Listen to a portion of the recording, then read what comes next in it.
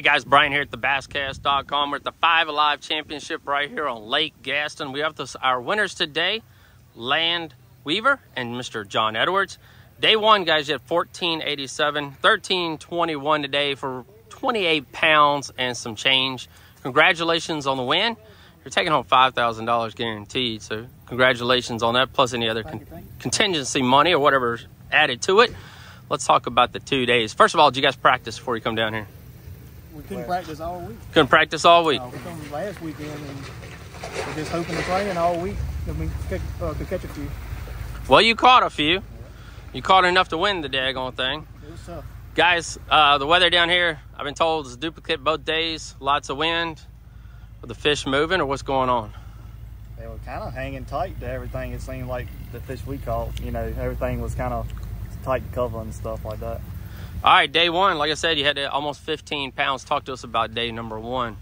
What was our, Well, he ran the show, so I kind of followed him around. So. all right, what was our go-to on day one? Look, it ain't no big secret on this lake. You got to fish docks. I mean, and that's what we did. We ran a lot of docks. I probably hit a thousand in two days, and you know, we re ran a lot of water today that we caught fish off of yesterday, and that's what it took to win. Mostly in creeks, I guess. Mostly in creeks? Mostly in creeks, yeah. What uh, depth of the fish did you guys caught most of the depth? It was fairly Yeah. shallow, probably Yeah. five to three foot, I guess. What are we throwing up underneath them docks? to jig. Ain't nothing else to throw in there. What color are we throwing up underneath there? Look, everything you can. Well, I like green pumpkin and black and blue and The main colors. a colors. little bit of Yeah. green. Yeah, I mean, nothing flashy. Anything particular on them jigs? Just shoot it up under there as far as you can. Nah, anything on the back of them jigs. Oh, you got to put a little trailer on there. What's You the trailer on that jig? Look, I like a Rage Craw. You heard it right there.